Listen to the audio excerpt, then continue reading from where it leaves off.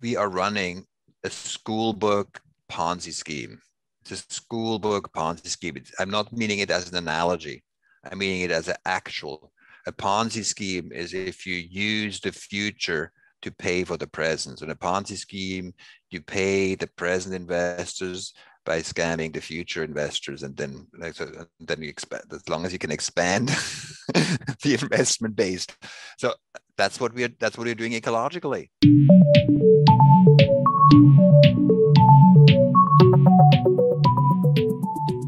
Mathis Wackernagel is my guest on this episode of Inside Ideas, brought to you by 1.5 Media and Innovators Magazine. Mathis uh, started his PhD, co created the ecological footprint in the early 1990s with his PhD advisor, Professor Rees, at the University of British Columbia. Now he is president of Global Footprint Network which he founded in 2003 with Susan Burns. Together with its partners, Global Footprint Network focuses on bringing about a sustainable economy in which all can thrive within the means of our one planet. Since 2003, this international think tank has engaged with more than 50 nations, 30 cities, and 70 global partners to deliver scientific insights for policy and investment decisions. With their annual Earth Overshoot Day, they annually reach over 4 billion media impressions. His awards include many, many the 2018 World Sustainability Award, the 2015 IAIA Global Environment Award, the 2012 Blue Planet Prize, the 2012 Binding Prize for Nature Conservation, the 2012 Kenneth E. Boulding Memorial Award, 2011 Zayed International Prize for the Environment and honorary doctorate from the University of Bern, and the 2007 Skoll Award for Social Entrepreneurship. Mathis, welcome to the podcast. Thank you so much for being here. Thank you, Marc. It's a pleasure. You've been doing this a long time. You you yeah. uh, came up with a, uh, as a kind of your PhD thesis, I guess, so to say, as well, and been uh, been reading, studying, working on it for quite some time. And um, you you've also uh, been involved in two books. So the the first book, our ecological footprint, reducing human impact on the earth, with William E. Rees, your uh, same person who helped you with the your PhD thesis. And then this wonderful book that I have in front of me right here, Ecological Footprint, um, came out in 2019. You worked with it with uh, Bert Beyers. I, I, hope I'm saying that right. He's mm-hmm. here in Hamburg with me. He lives not too far away he's awesome. from me here. Mm-hmm. Yeah, and he's an awesome guy. And and the ecological footprint, managing our biocapacity budget, and um, you are both awesome. So not only is Bert awesome and, and William Rees and you, you're you're all awesome. And, and I'm so glad to be here. I mean, um, my listeners have said, I mean, we've never seen Marc so excited because we can talk for hours and we will have tons to talk about, but we've got to kind of structure it because we'll be here a couple days because we really have a lot to uh, of ground to cover, but we want to take everyone kind of on a journey. And first and foremost, that journey begins with we've been through some absolutely crazy times this last 12 plus months um, of Black Lives Matters, of uh, racial, racism against Asians, about craziness with an inauguration and a, a rampant um, politician in the U.S. and and um, also the pandemic, the lockdown. Oh yeah, that know, one. uh, yeah, on, on, and on and on, and it just it just doesn't stop. Yeah. And and uh, but but you have been thinking about ecology. You've been thinking about biodiversity. You've been thinking about you know climate change and models and tools and things and ways to look at the world to not only measure and uh, get a clear understanding of your footprint, but maybe some tools and things to do to to have a better operating model, to live a better life or live a different life or live within the planetary boundaries and, and do some different things when you have this awareness. Uh, for me, it, it, it, was a time um, to kind of see that that it's a better business model it's a better operating system so to say it gives you more resilience it's uh, you can weather through that uh, rough times in some circumstances. And so my real question is um, how have you weathered this crazy time and have you seen uh, I, I read read the numbers on your website and, and there's unbelievable numbers and Earth Overshoot Day has great response. Did that go up?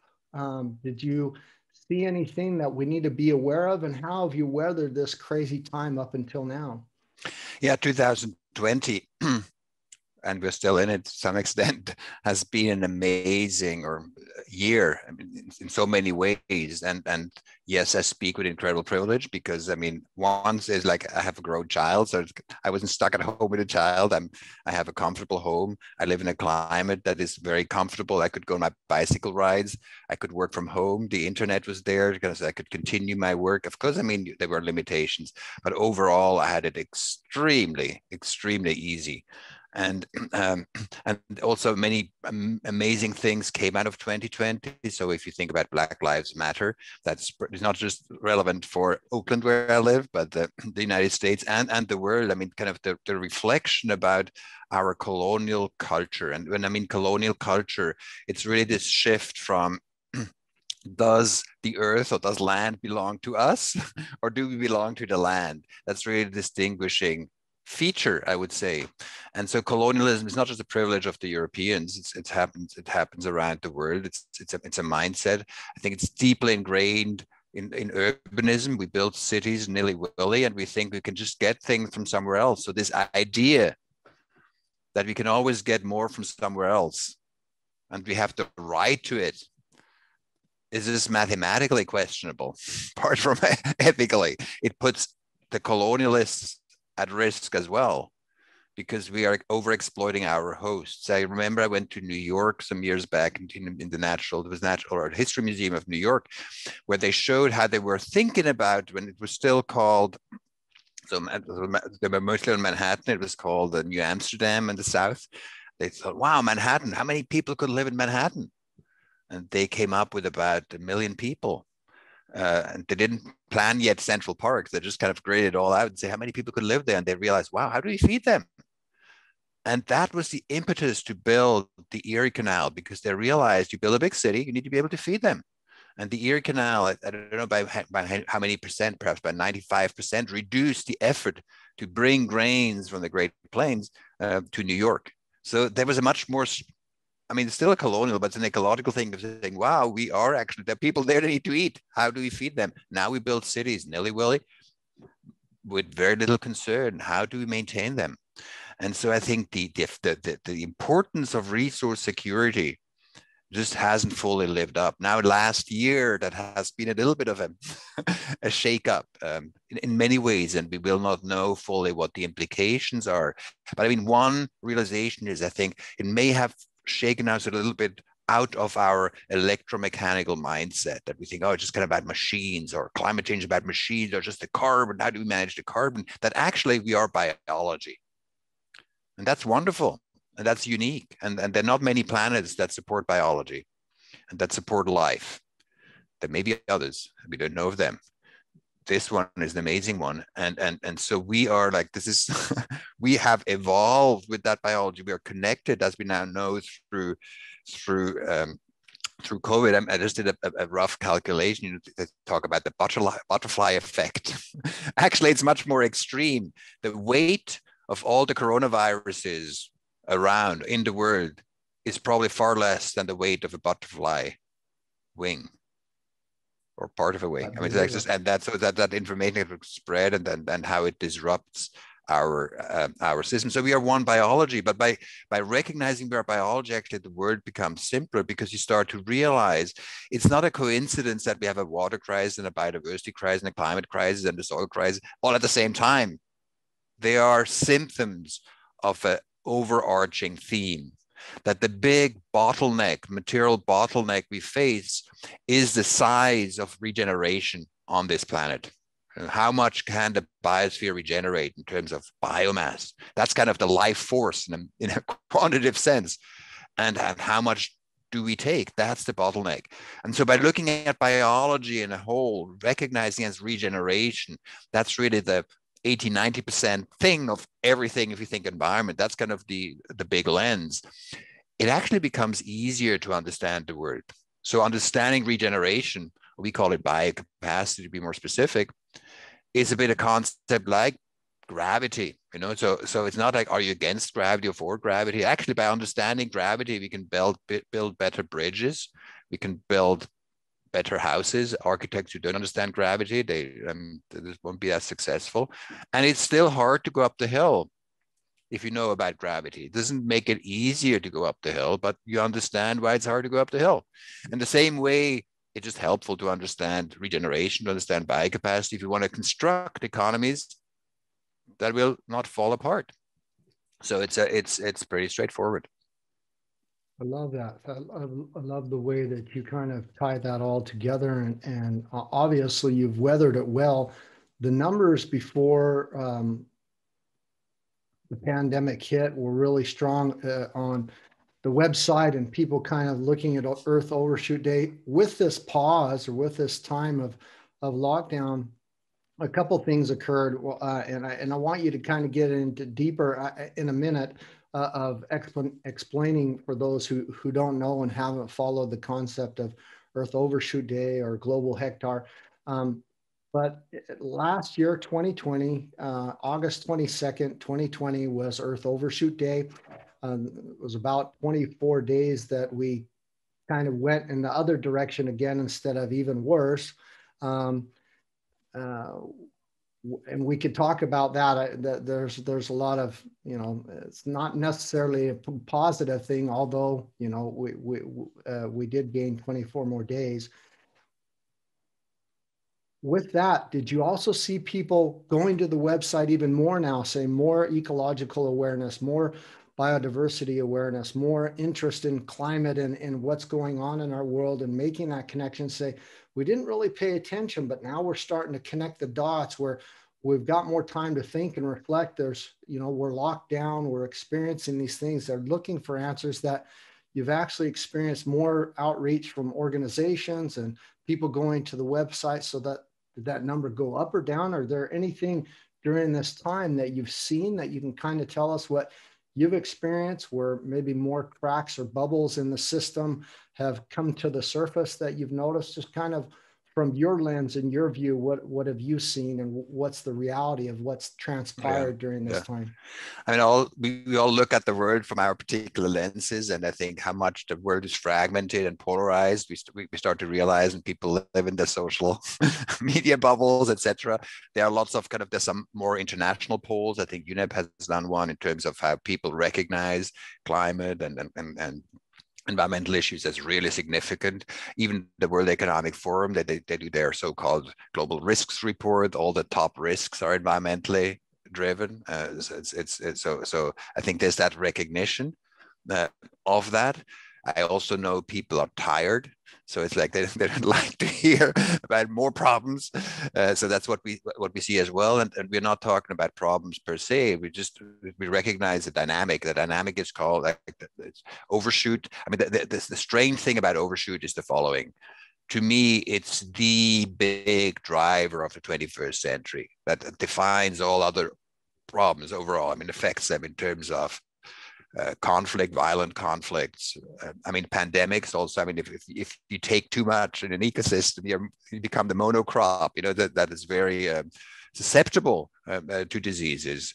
So that that, that misbalance, Ecolo- economically, become more fragile because we we depend on resource flows that we cannot maintain. So, I mean, you think of any type type of, of, of, of calamity, it's based on kind of this overconsumption that our that our size, our human size, the human presence has become too large compared to what the ecosystems can um, renew.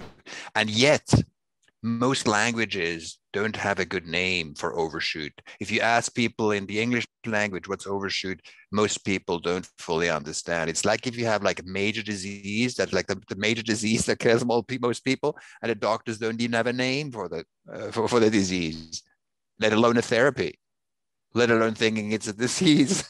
I mean, it's, it's, so so that's kind of the weird thing, and I think with with some pride we have been able to bring the story out because there have been others talking about it as well. But I think with with with with uh, uh, Earth Overshoot Day, which was not my invention, so it's kind of a, a, a friend uh, gave us the idea of saying, "Hey, that may be a great idea to do that."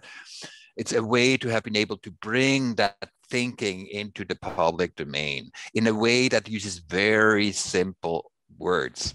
So, so we need no concept. So, what's Earth Overshoot Day?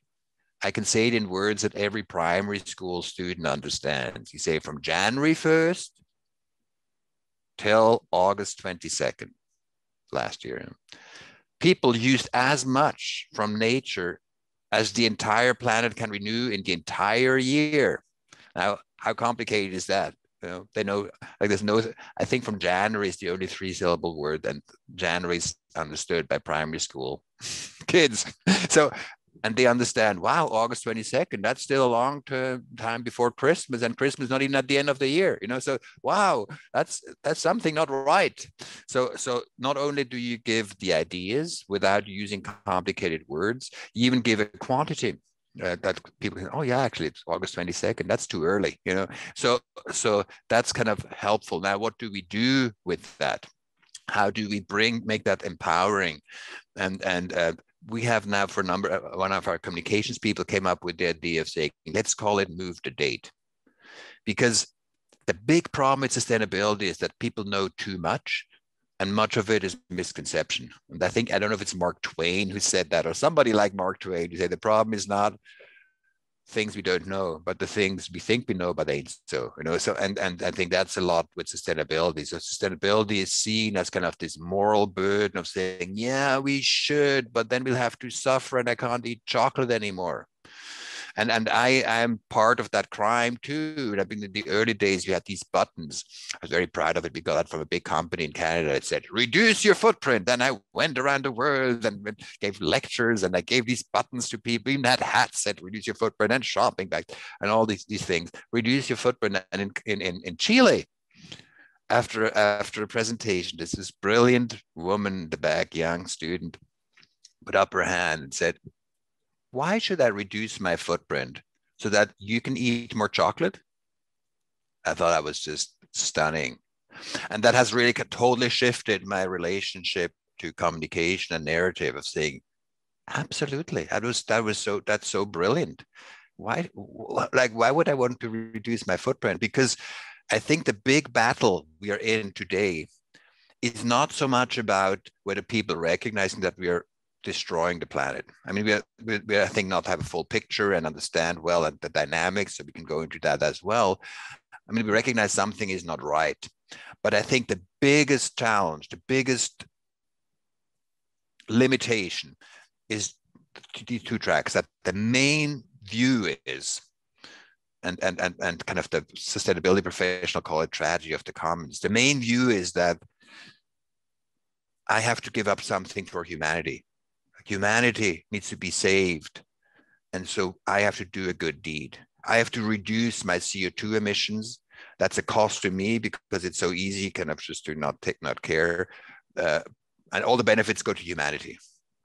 So that's why we can only act once we all agree to act. Tragedy of the commons. You know? Uh, or the vice versa of tragedy of the commons is I get all the benefits from using the energy and all I can spread all the costs. You know, it's kind of this misalignment of incentives. The reality we think is quite the opposite. So we, we, we push a totally different narrative. We would say, actually, think about the word like this. There's a big storm coming. It's called climate change and resource constraints. Even in the best case, there will be climate change. The question how, how much?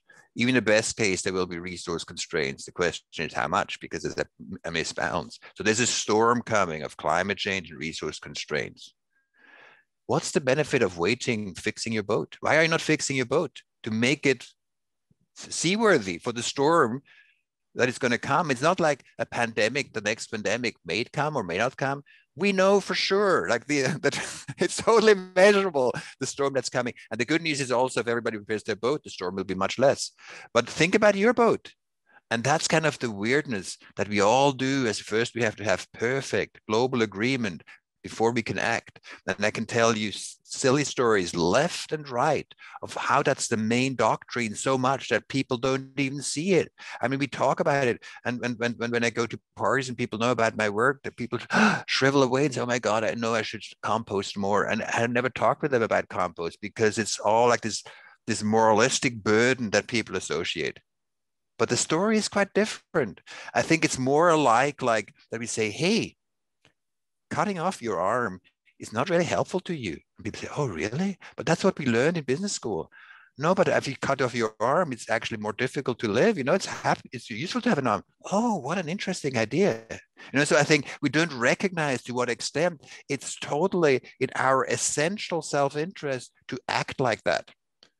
And, and perhaps the one tragedy is that we think self-interest, the negative word, is part of capitalism and selfishness and, uncooperativeness. But in, in the end, it's really about do you feel that you have skin in the game? It's about your life. Are you going to be ready? And by your being ready, it's also going to be much better for the world overall. So I think that's kind of the battle of these narratives. You could call it like tragedy of the commons. Like that's kind of the common. It's so common. It's like we're fish in the water. We don't even see the water. I mean, everything is like that. I mean, we can, we can talk about it. versus saying, "Wow, actually, you have skin in the game." And I think the skin in the game conversation we see in the younger generation. So, for example, I mean, a very prominent person is Greta Thunberg. Uh, she is probably seen by my generation, the older generation, that is squeaky moral voice. And she's not. She is a total skin in the game voice because she doesn't say, hey, let's be nice to these distant Ethiopians or the Bangladeshis. Or she says, no, don't kill me. Why are you killing me? I don't want to be killed and my friends and the Bangladeshis, but you're killing me and and and and so there's a totally different perspective. And so she, they answer differently when the journalists ask moralistic questions. Are you a vegetarian? So what are you doing? I mean when we talk about financial crises no journalist goes to the bank and say what about your credit card? Have you always paid your debt? I mean it's an irrelevant question. No we've got to save the country from debt you know some in the financial crisis.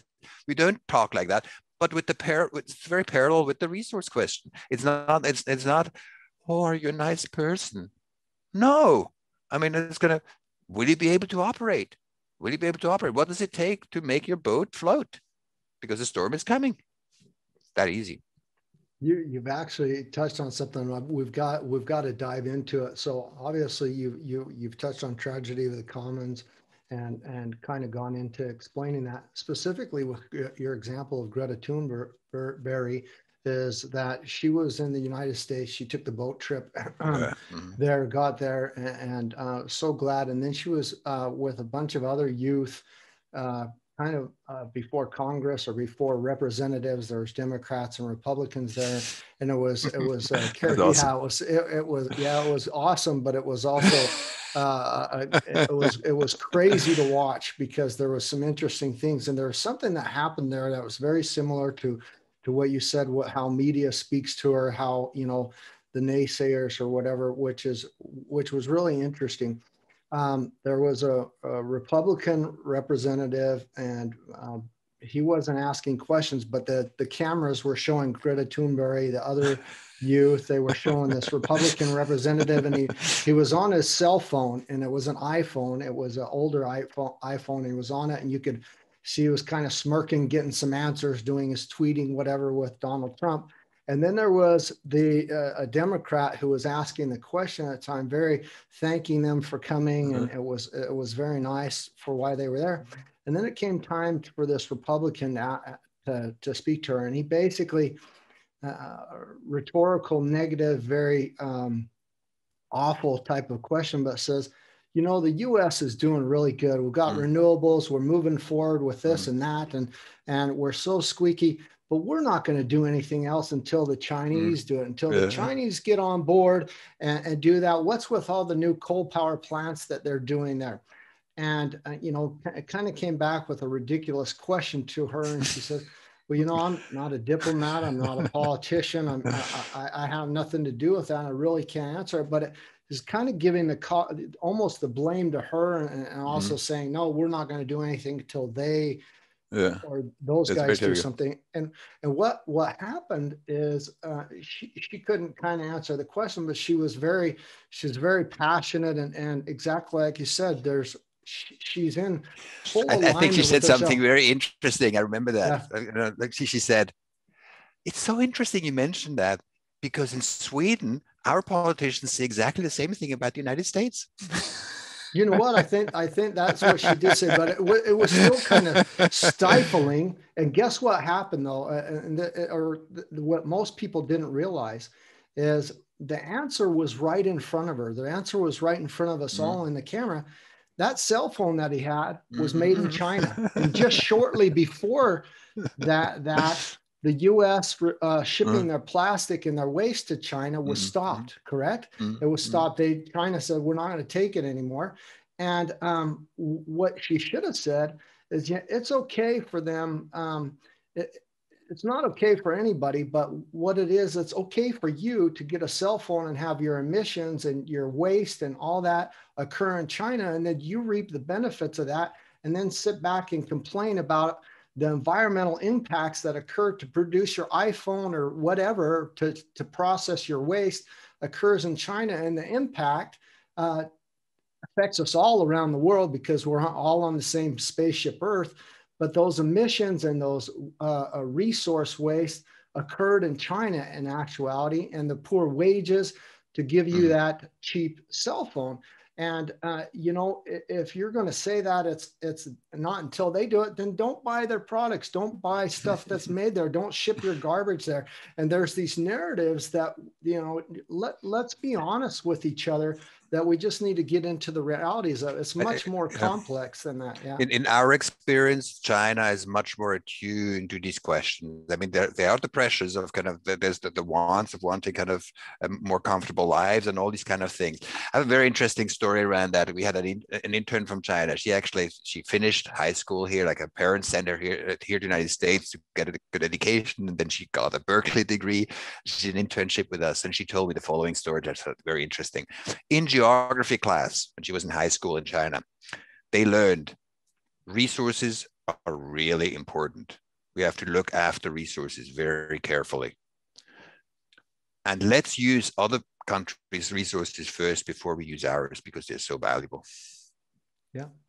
And then you think that's cynical, but I think I wish every country would educate like that because if you if you say it's so important that we should use other resources first. If everybody did that, we would all make sure we're very careful with our resources. It's like with money when you say. I mean, if you say, okay, spend your money, uh, but be careful with your money. And if somebody else's budget for, for paying it, then let's use the other people's budget. You know, so I mean that's a logical thing with, with money. Everybody would in the resources. It's it's it's very parallel.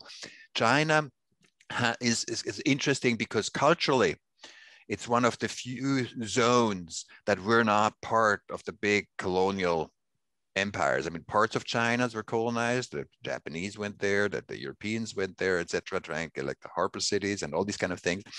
Um, but as as a country, that their thinking, their social sciences, their economics is based on a very different tradition than the West that has deeply ingrained like colonial spirit in the its economic things like we just take resources from somewhere else and then uh, and so so the, the way resources are being dealt with in the social sciences in the western hemisphere particularly since world war ii i think because our inability to kind of reconcile with the colonial formal like the formal colonial past of the western hemisphere just kind of denied the whole resource side. If you look at economic textbook about development today, and you look up in the index about resources, you may find the word resources if you're lucky.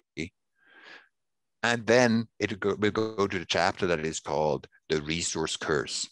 So what, what we still learn today in Western universities is resources are a curse. Those countries that have a lot of resources you know they're cursed by that because it will fuel corruption and people will be lazy. Look at switzerland where i'm from. Look at switzerland. They have no resources and look at all the money they have because they have to work hard. I've been to many countries. I don't think in switzerland they work hardest you know that's not the reason.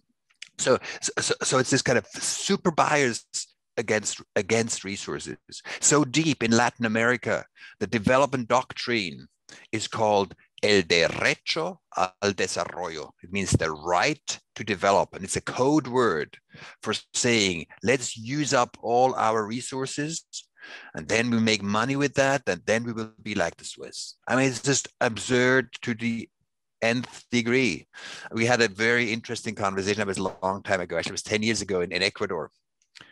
And that just kind of to, to bring that into the picture again between kind of the noble and kind of we call it the noble narrative versus the necessary uh, narrative. Back then, it was under the Kyoto regime. The Kyoto regime called some countries Annex 2, and they were lower income countries. They say, oh, you don't have to worry about this. You know, this is kind of, this is just for high income countries, which already said, oh, it's a luxury problem. but actually, countries that have low financial means, not to be resource secure, not to have the wrong resource requirements, that's most deadly for them even. So it's kind of this, this strange thing. Anyhow, they were Annex 2 country.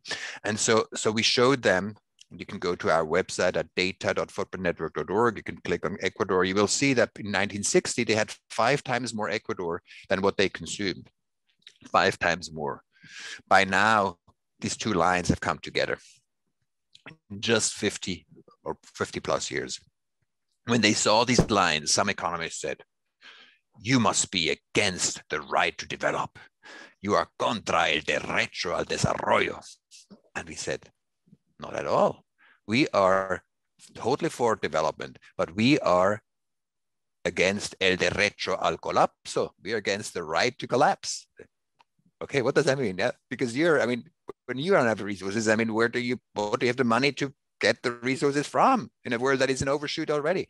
And so they saw that and they put in their national development agenda, getting out of an ecological deficit as a priority. They didn't succeed yet because they're so oil dependent that they continue to make quick money by selling resources. But they start to recognize this is not just a nice thing to do for others. This is an essential piece for us, not because we gave them money or we had political sway or there were demonstrations in the street or there was anything they just reckon, wow, yeah, that's what we need to do. I think that's a bit the hope for me that actually uh, once people start to recognize, wow, yeah, it's about my boat. That's the shift. I think the most powerful thing we can do as individuals, as academics, as as NGOs, or kind of to, shift the world is helping people see aligned ince- incentives where they now see conflicting incentives. Now I think that our whole story is conflicting incentives. Oh, we should, it would be nice. Oh, we have to commit. Make the CEOs commit. All that language reinforces the narrative that we should wait with action until we have full agreement. That's a noble deed. A noble deed costs us and a noble deed we may do on Saturday afternoon, rather than saying this is existential. If you don't get your boat right, if you don't get your act together, you'll go down with others, but you'll go down. Yeah, that's that that that old and new worldview, and really that what you're really getting into is the noble narrative that really means mm. nothing. It's it's a noble number, it's a noble goal, it's a noble statement, but it has no teeth. It doesn't mean a thing it means we're going slower in the wrong direction or even doing it's very, inaction. Yeah, it's, it's, pernicious. It's, it's, it's always pernicious. someone else. Yeah. But, but, there's this necessary narrative that we really need to mm-hmm. align ourselves with and get into. And you gave the perfect, mm-hmm. uh, perfect. And, and I wouldn't even say need to align. I think we want to align. It's in your own interest. I mean, it's like it's like when you think about betting. If you understand the word better, your, your bets are more likely to succeed. You know, it's just going to be better informed. So it's not do you believe in climate change or not who cares but i mean it's like, like what's the likelihood like how do you want to structure your bets you know? So of course we, we don't know how tomorrow is. I don't know if there's gravity tomorrow because tomorrow hasn't happened yet. I think the likelihood is very high. I would bet on there will be gravity tomorrow and that probably will win the bet you know? So so so it's it's not about do you believe? Believe has no place in science. It's not about believe and not believe. It's about yeah, probability.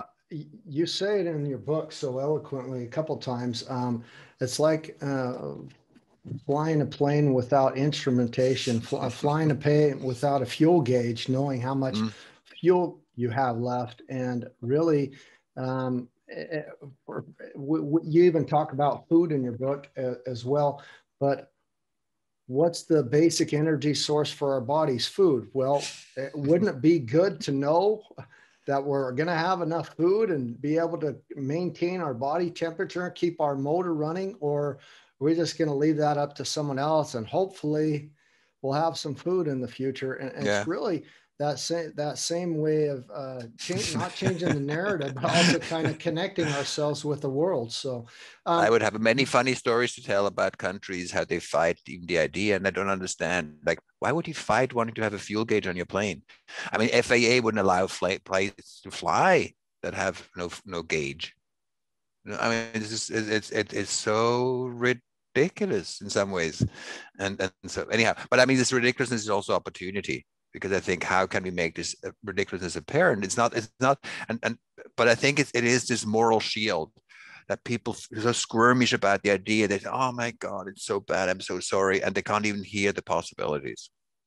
So this year we will actually, we always calculate overshoot day as as close to reality as possible because things shift over time. We talked about like last year, particularly in Q2.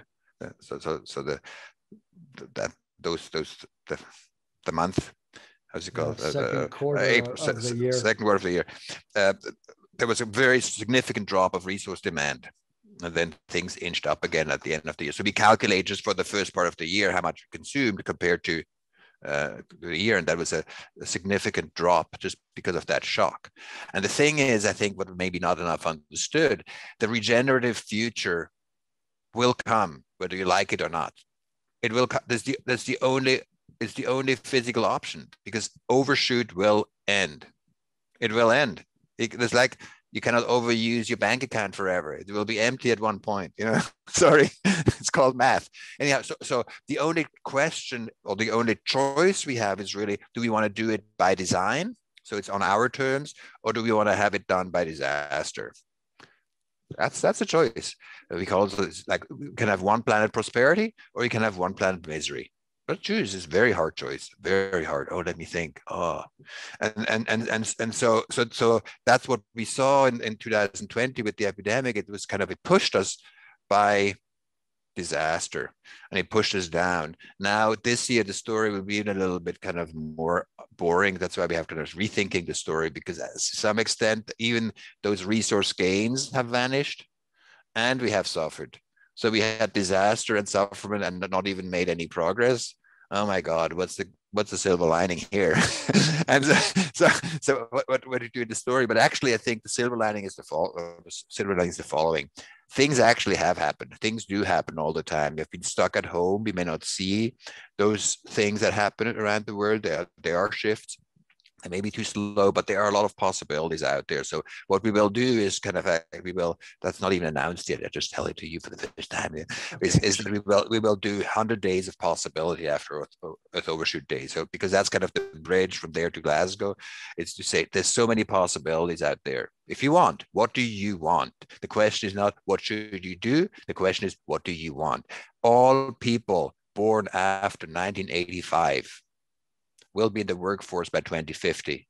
If we have, want to have a chance of not to have runaway climate change, we should be out of fossil fuel use well before 2050. So in their professional life, in their professional life, they will have to see a transformation of, of, of, a, of, a, of, a, of a size and scale that we haven't we haven't seen before. If you think about the iPhone, how quickly it developed, you know, that's kind of for the entire economy it's it's mind-boggling, but it's also exciting. It's kind of building something totally new. Now, I think academic institutions have failed people and, and, and students today. They come out of university today and are clueless what to do. Uh, because the professors are clueless largely and, and, and not honest about that they're clueless. The first thing, like with uh, Alcoholics Anonymous, is to acknowledge that you have a problem. I think it's it's, it's times we don't know. I don't know how to do it, but I know we need to get her somewhere, and so we have to have a partnership with each other and, a, and an intergenerational partnership of saying, sorry, we totally effed up, you know, but but we don't know. We tried and we don't know. And we want to help you, and you may have ideas, and we are here to be mentors as we can help you what do you need? What do you want? so because you'll be the captains of spaceship earth and we, we, we our duty was to prepare you and we failed so far and now we need to do it in kind of after after class hours to kind of see like help to help you to be the captain you need to be you know so uh, so anyhow so, so i think that's and then I think that also brings this energy forward of recognizing there is possibility. What can we learn from the possibilities that exist? And it's quite dramatic and it's kind of and, and, and, i think the stunning thing for me is i mean how we have failed and i think the so-called sustainability movement has utterly failed and i'm part of that in terms of like we had a conference in 1972 in stockholm. Yeah, the first time development environment came to came together the stockholm conference. And um, and and indira gandhi came there and everybody and they had a very clear byline or or, or, or um, summary lines. Uh, they call it only one Earth. Now, how much clearer do we need to be? Only one Earth. Then we moved to the to 20 years later to the Rio conference, and before that, sustainable development was kind of defined a way. I can tell you the legal thing. You need a lawyer to understand what it means. Meeting the needs of the present generation without compromising the ability of future generations to meet their own needs how many people understand what that means? And and and i mean it's it's and, and so that we don't even say environment anymore. Like we don't we don't recognize the physical context. And then we move on and now we have the best computer models and everything. And now we talk about sustainability. It's so confused. People don't even realize that we need that we are biology that we live of regeneration and we talk about sustainable growth and all kinds of funny things. And and it's i mean the confusion is incredible and we don't want and then you don't want to measure and it's oh yeah. Oh yeah we have to bring in everything and then we measure everything and because we don't want to look at the hard things. So we can say oh we have measured 175 things and and and three of them are really bad and but on on five on 15 we have done really well and it's complicated. Trust us we are experts. I mean give me a break. It's not that complicated. We have one planet and the question is like how big are we? That's the underlying question. If you're not willing to face it, it's like the, the architect who says, I don't want to think about gravity. I mean, it's just, it's, it's, yeah, it's it's nuts. insanity. We're, we're really fighting against e- each other, or we have got uh, so many politicians and people who we're actually aligned in some ways as activists, yeah. environmentalists, mm-hmm. just as human beings. But then we're kind of like almost working against each other uh, uh, on this planet in many different ways. Uh, you and I both uh, kind of cross paths many times, know each other from mm-hmm. the Club of Rome Planetary Emergency mm-hmm. Group. Um, uh, you you're mm-hmm. quite active in in the group as well, and have done many things.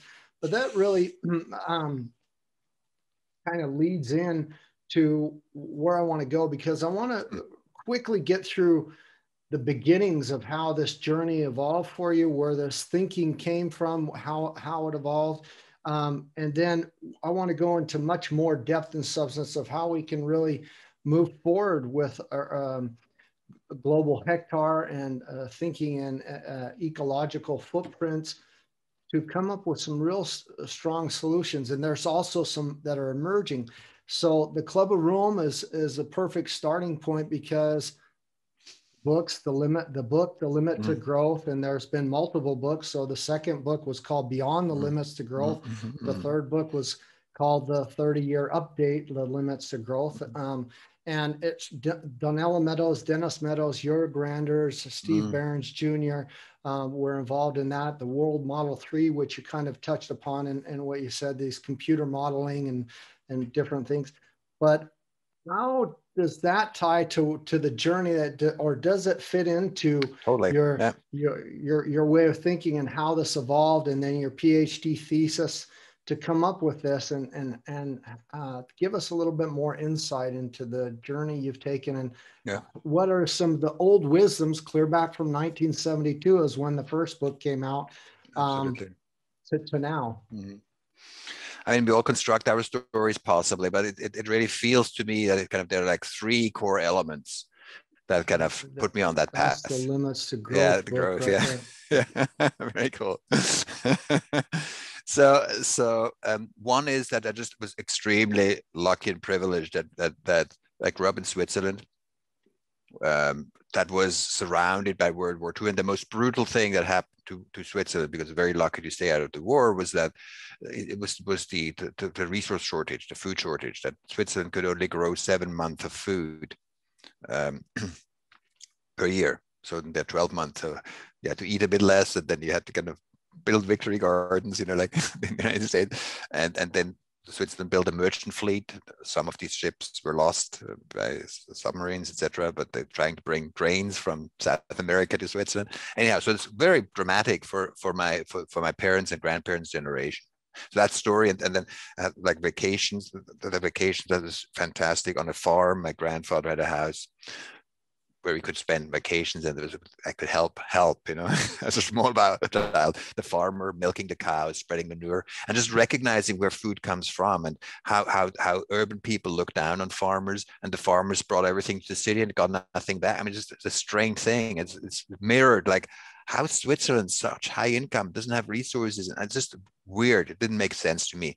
And, and particularly how then also the urbans this like look down on the on, on the on, on, the rural people. It was just so strange. Uh, and, and and i just love to be out there kind of like in in in, in kind of how, how farm worked. There's one thing. The second thing was by 73 there was this oil crisis. And Switzerland's heroic attempt to counter it was to have three car free Sundays, maybe four. I think it was three. And for us kids, I was 11 years old. It was just amazing. We could bicycle on the highway. Like it was just suddenly we were free. It was the air was much better.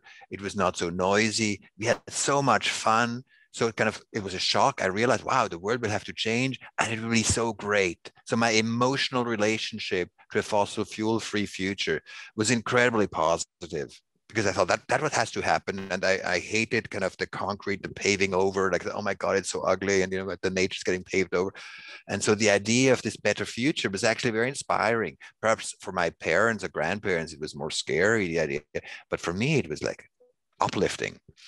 And the third thing was I was a very lazy reader, and so my father was very con- concerned about that. So he read me books, and we and then one book that came out was Limits to Growth, and he was kind of he was very taken by that as well. And I had more of a mathematical mind that, that kind of like numbers more, and then seeing gra- I mean I don't know if you have seen Limits to Growth. It's super primitive graphics, you know, but the first computer graphics is kind of with with with, with letters that go yes, across the page, I, and I've and seen them all. And before books had only kind of hmm. Words, and that was like one of the first books that actually also had graphs in there numbers, and and I was really taken by that. And wow, over my lifetime, things could change like that. And computer model. So limits to growth was super influential in my kind of like upbringing and kind of also professional choice. I thought, okay, I want, want to become an engineer that builds a renewable economy. Um, uh, and then, I mean, the amazingness that then through that, like these were like limits to growth. I was like, the rock star book, you know. And then I got to know most of the authors. Uh, Donella, unfortunately, she passed away. She was yeah. amazing, and um, and and Jørgen and Dennis, both very very kind friends. Like so, wow, you can become friends with your rock stars. You know, it's it's amazing.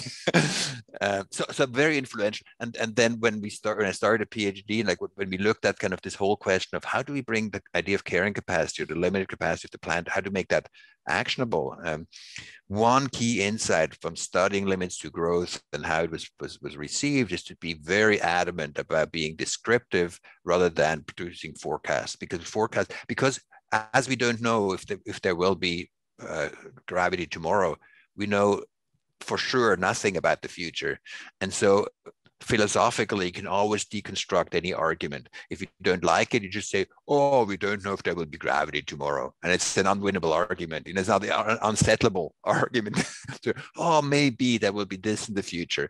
So you can, you can never you can never settle that argument, and so it stays open and nothing happens. So we say, "No, we just account. We just document what is. And we still were accused of being like limits to growth. We have nothing to do with forecasts. it's just accounting. But uh, it's just because people are so much stuck in, in, in their views. So yeah, limits to growth, super influential and, and, and we learned about it a lot. Uh, learned from it a lot, how to position ourselves. And still, progress is incredibly slow. I mean, that's kind of when I have now worked on this for 30 years on this specific topic. I mean, I was interested before, but then the footprint started about 30 years ago. And uh, on some level, it's kind of mind-boggling that kind of the term now it's kind of a common term, but it's also mind-boggling how little impact it has made on thinking. I mean, it's kind of just, I could go on and on in terms of like the plastics bottles that I see of the company saying, we are reducing our ecological footprint. In every flight magazine that I'm on, like there's something about footprint and it, it's kind of to, the most meaningless way possible. yeah. so, we're, so, we're so going to get into that too. So I think we're going to take the take this our conversation over a little bit because we're definitely going to get into that in, in, your book you you talk you're you're not biased to anybody. You're really you want to give the footprint and calculations and help people with uh, people cities countries individuals with with the tools and the understanding how to do the calculations how it works and what the global hectare is. And so you have examples. I think there was one example um, there's i mean there's numerous examples throughout the book but one is the united kingdom in 2000 uh, I think 300 times um, the the footprint size uh, uh of the London. size. Yeah, yeah, London, London uses uses a footprint that's about I think yeah. roughly 300 folds larger than the yeah. area of London. Of course, yeah. Exactly. I mean, cities they don't produce their food, and you know, so London exactly. And then and and then the the one where I have the bookmark is you're uh, real positive about the new model of development in China, and there's just a lot of things in there that we we don't think about we don't put into perspective especially when we're with the blinders in in the city living in london if we're in the middle of it sometimes we just don't realize and especially with the way the world was before the pandemic many of us were running around from job to job uh, and, and we were focusing on just surviving almost instead of the, the bigger picture. Now I, I think a lot more people have taken a step back or had hopefully use the time well to have a little more reflection on, on the bigger picture.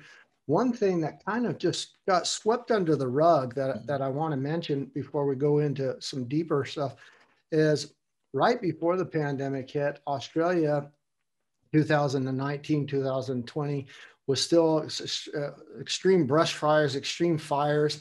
Um, they were saying worse than atomic bombs. You know, uh, they're saying equivalent to w- worse than 650,000 atomic bombs going off during that time. That is that they're saying 1.2 billion tons of CO2 emitted just in the time of those fires.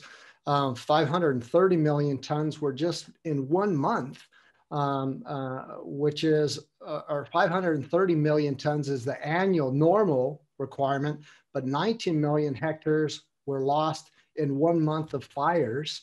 Mm. Um, you know, Blue Mountain World Heritage Site lost 85,000 hectares in one month, 3 billion wild animal species during that time. 3 billion, I can't even fathom that number, 3 billion. I, I didn't even know that we, you know, it was so abundant.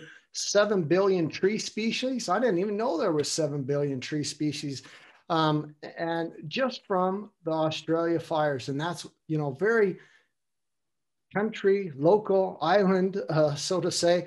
And it, it, it just went by the wayside. Yeah, we saw the kangaroo and the koala photos and we heard a, a little bit about it, but then came the pandemic and it was just like it's, it was forgotten.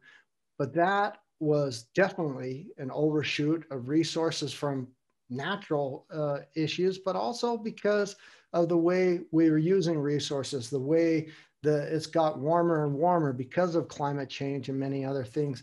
So there, there, there's that. You know, the you spoke in August 2020 about uh, fires in, in, in California and also uh, what was the other? Brazil was the other location, I think. Brazil. Um, yeah. Mm-hmm. yeah, you were speaking about that. We, we, we, we did some, we, we, we, we, yeah, I mean, just that's more kind of to illustrate as well. I mean, we, we did a very rough analysis because the numbers are not as easily available or, or as robust, but just roughly to see to what extent, because Australia, people say, we, we compare the country's footprint, you can compare to lots of things. You can say, okay, if everybody lived like Australians, how many planets would it take? You know, uh, several. You could look it up on data.footprintnetwork.org. But then you can also say, how many Australias does it take? And because Australia is so large, their footprint typically is smaller than their biocapacity. Um, so overall, from a, if you look at it from a consumption perspective, but in that year, because of the forest fires, if you actually include that and say what was the net biocapacity for that year, it was much much smaller. I mean, it's conceivable that you could have negative biocapacity in a year if you like. If you burn more than kind of like because it takes many years for forests to grow up, you could actually lose in a year like more than it's being regenerated. Then you'd have a negative biocapacity. But it, it, so, so our rough estimate came to the conclusion that the biocapacity of Australia cut compared to the normal kind of what we saw in, in, in an average year was about half. So it went to half, and that meant for the first time Australia was actually running an ecological deficit. which is pretty stunning for like a country that seemed like massively, like massively resource rich because of that.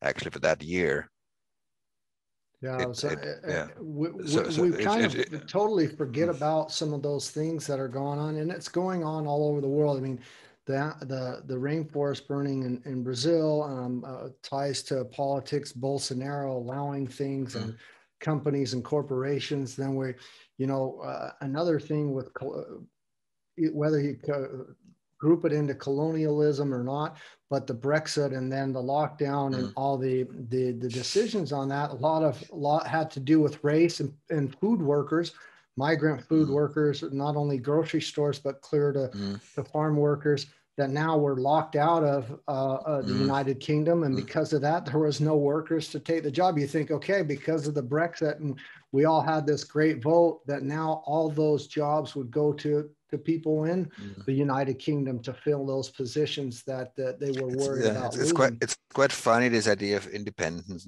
on some level, because we, I mean, if you look at the UK as a whole, and there was like this commission, very academic commission on looking at the, nat- the natural capital commission, looking at the natural capital. They missed three quarters of the natural capital they use because if you look at the demand of the UK, it's about four times larger than what UK's ecosystems can renew. And then we should go even a step a step further. Like how many planets would actually be good to be used? You know, so so so getting Earth overshoot day to December 31st is probably not kind of the, the ultimate goal because we are in competition with other species. I mean, the fish that a seal eats, I cannot eat, and vice versa. So, so E.O. Wilson, he, he, he made this kind of bold proclamation, say, wow, maybe we should use half Earth. So it's just half the planet, you know, so uh, because the others need food as well, that would allow about 85% of the biocapacity to be maintained, not 100%, but 85%.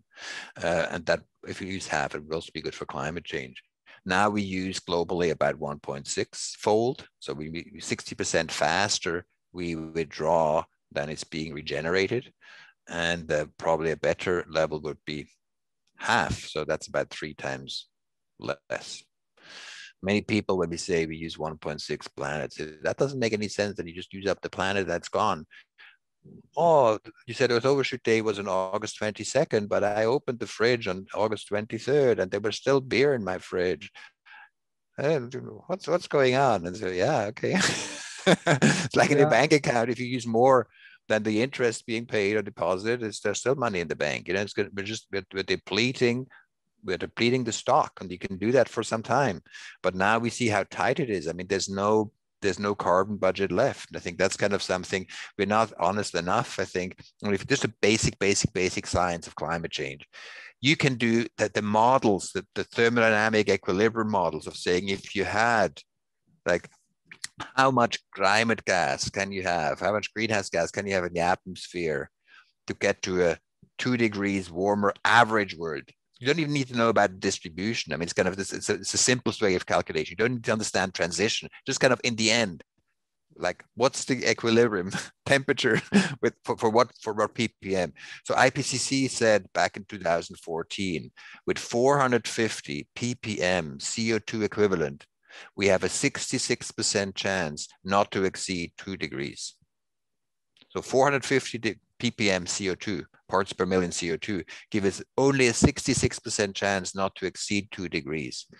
If you if you take the U.S. measures currently from Hawaii, you know, to on on what the what the current ppm level is, in CO2 equivalent, we are at 500. Today at 500. 450 is not even adequate for Paris. We are at 500. There's no budget left, really.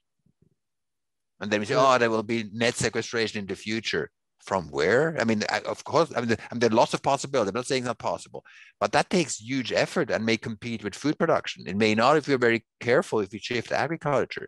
But I mean, that just shows the the, the, the, magnitude that actually, even though we've had overshoot and say, oh, nothing has happened, actually a lot has happened. The debt we have accumulated is very significant and to, to build down that debt, to pay back that debt, which would mean, for example, getting the CO2 out of the atmosphere again, that would that takes significant effort. And and so i think the and, and the time lag say, oh it's about time. Lag it's not that big of a time lag. If you think about how long do houses last how long do roads last how long do power uh, um, power plants last if you compare those time spans with how quickly climate change and resource constraints are emerging or the fact that we need to be out of a fossil fuel economy within like 30 years. These 30 years are much shorter than the lifespans of most of our physical investment. So if we continue to invest today, I mean, we should have obviously started earlier, but today to invest in things that have no future, we invest in our own demise. That's why it's so hard for me to understand the German commitment to, to continue to build out the natural gas yeah, it's, infrastructure. It's insanity it's from insanity. my perspective. Yeah. It's insanity, yeah, or or I mean, and, and even like like the kind of this, this like circular thinking logic in Switzerland, people are very proud of that we are incinerating our waste. Now, waste in Switzerland has less carbon intensity, uh, has, has more carbon intensity. It's more carbon per kilowatt hour produced than coal. It would be much better to burn coal and put the garbage into coal mines. Not that, that that's a good idea, but it just comes to show how grotesque our thinking is. Uh, of the, oh, it's already existed. It's just waste. It's burning the waste. It's a good thing. I mean, it's just so so so we are so far off from recognizing what it mean, what regeneration actually means. This is a basic thing. It's not it's not that complex. A child knows, you know. The, the, well, uh, with Earth overshoot, with global footprint, we're, so it's ecological footprint, but uh, mm-hmm. we're really talking about economics quite a bit. economics yep. is the major factor, and um, there's you know there's a couple more that we, we need to talk about. Herman Daly, mm-hmm. 82, I think he's 82 years old now but he wrote this book. Matter of fact, he wrote a couple books. I've got them right Many, here. Started well. in the early 70s, so, yeah. Uh, uh, uh, ecological economics. Yeah. Uh, here's another one. They're academic mm-hmm. books uh, uh, as well, very thick. Good reads, super guy, used to be with the World Bank and that. Um, was some of those influence to you as well? absolutely. Like yeah, I, I, yeah, yeah. I, I, I only got to know Her, Herman Daly's writing um, once I went to Canada to study, I didn't know him in Europe um, back then. So I went to Canada in 89 and that's one of the, the, the few and that was like mind blowing for me kind of to, to read because I mean I wasn't courses about I mean I was very skeptical like the whole growth idea and then and I had courses with uh, professors like just um, on that there were some that were interested in kind of new ways of thinking about economics but I didn't know about Herman Daly. And that he put it so clearly and so simply um, and and and and it cost him his economic career. yeah, he, he, was not he was he was not able to yeah. find a position in any economics department uh, ever after, and it's quite stunning. Yeah, but I mean the same. Uh, you when you your father read the limits to growth to you probably uh, mm. was well above ten years of age or so. But yeah. in the beginning of of um, the limits to growth, so much controversy, so much pushback, not just from economists, but uh, uh many politicians. There, it was a controversial, a lot of pushback, and, and, then it took about ten years when they did the second version of Beyond the Limits to Growth, mm-hmm. because at that time we'd already gone beyond the limits. That finally people said, "No, this this this isn't that controversial." It's those who are, are looking at old economic models. They're looking at old ways of thinking that, that, that are giving the pushback. Um, you received the uh, Kenneth Boulding Award, but this yeah, is from mm. him and his wife. Yeah, yeah, uh, yeah. Yeah, uh, the future. Awesome. And um, you know, it's a crazy title, the future. Mm. But the the the interesting thing is, okay, let's talk sustainability. You you said sustainability in in the beginning, and the legal definition. It's hard to understand and to grasp for me, there's uh, there's in the UN where I, am at a lot. There's 17 probably at least seven solid definitions of sustainability, but it has no no teeth. There's no. Uh, Are you talking about no, the ones you're wearing on your? This shirt? is the Sustainable Development Goals. no, goals. just about the term. 17. Uh, ah, the term. Yeah, okay. I just happen yeah, to be also 17. 17. development. but but for me, sustainable is really about the three pillars of Mm-hmm. One, a deep understanding of economics. So, not just mm-hmm. the bad economic models, mm-hmm. extractive capitalism, on and on, mm-hmm. but ecological economics, a solid inf- uh, mm. understanding of what economic models will work for us best in the future. Yeah. Second is those positive, sustainable innovations, if you can even say that, that will help shift humanity, get humanity into a better situation of not being so extractive, being more efficient, not doing harm on human health and, and environmental destruction and so on. And then the third is really, you know, people say, well, Mark, you say sometimes you're a sustainable futurist or a resilient futurist. What what the hell does that mean? You're we thought you were a tree hugger, environmentalist activist, or what does that have to do with the future? Well, it has everything to do with the future mm-hmm. because to, to you're trying to think how can what models or what what roadmap can we take to ensure that we even make it to the future? And what will those futures look like? Most of the models economic models or the models that we have today let's just do a, a mental experiment or experiment and push those models out into the future. 10 years 20 30 40 50 years out in the future how are they working for humanity? Is there a crash? It goes back to that world model three, you know, MIT limits to growth let's put those in those models into practice and push them out uh, e- even through scenarios into the future. Are they still working for us in the future? They're not. Most of our economic models that we've had in the past i think i've lived through five bubbles. You've probably lived through more more bubbles. We have these economic bubbles and mm-hmm. you know you hear you hear as they're coming oh we're facing a bubble. And then what happens when the bubble bursts or collapse. Well, we have a bailout. If you're the U.S., we have a lot of bailouts. Uh, the Netherlands had the big tulip bubble, the the uh, the finance uh, tulip mm. economic yeah. bubble. But mm-hmm. when these bubbles burst, the damn thing is, is we go back to Einstein's problem theory, we go right back to the same broken mm. model and hope that it's, it's going to be fixed. It, it's it's even worse than the bubbles because bubbles could just be a little bit of overheating and kind of like like, like waves. But actually, we are we are running a school book Ponzi scheme. It's a school book Ponzi scheme. It's, I'm not meaning it as an analogy. I'm meaning it as an actual.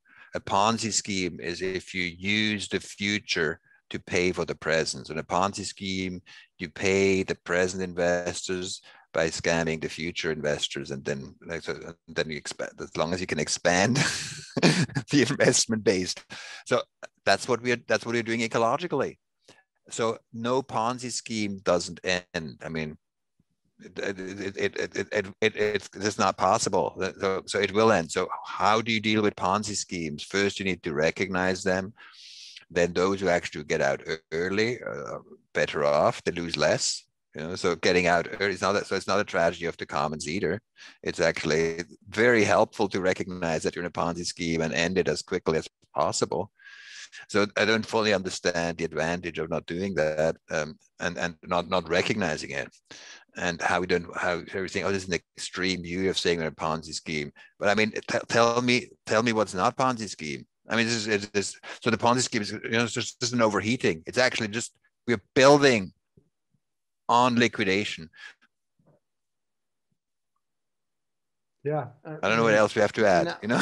yeah, no, we, have got, we, we've got plenty more to add. So in your book, you also talk about some, some real, some real good models that, uh, or some ways of thought, you know, this, one planet living from BedZed, and we see it. Mm-hmm. And other examples, I'm working on, on one. Um, mm-hmm. uh, it's called Neom. It's a new city project, Neom, in oh, yeah, Saudi Arabia, yeah. 175.